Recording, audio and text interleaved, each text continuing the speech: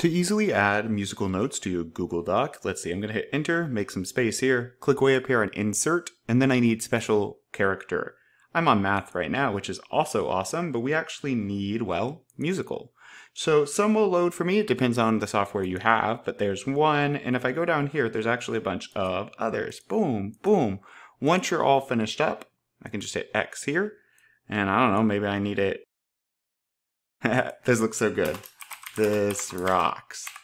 And we have some musical notes added the easy way.